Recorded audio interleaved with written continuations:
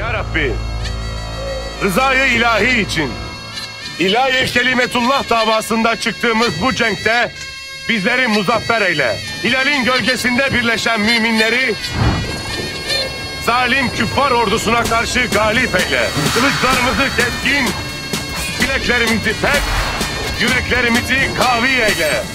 Bizler alemi İslam'ın hamisi, mazlumların umudu, zalimlerin korkusu.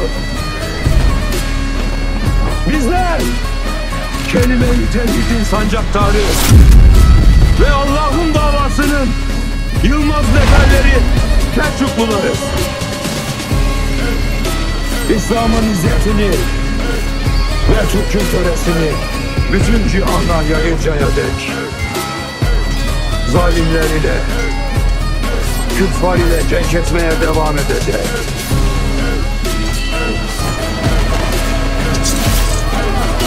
Zafer bizim! Zafer Allah'ındır! Allahu Ekber!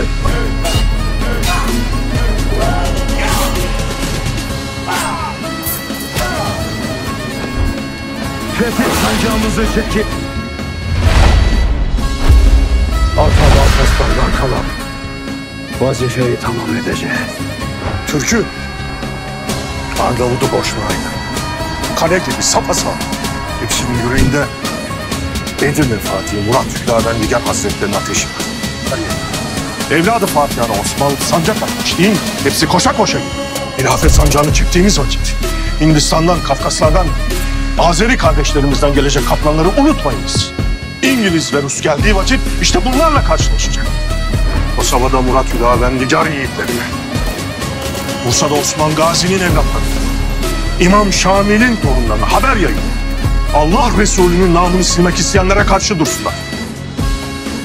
Osmanlı'nın tokadını unutanlar bu harpte hatırlayacaklar. Kılıç kınından çıkmıştı.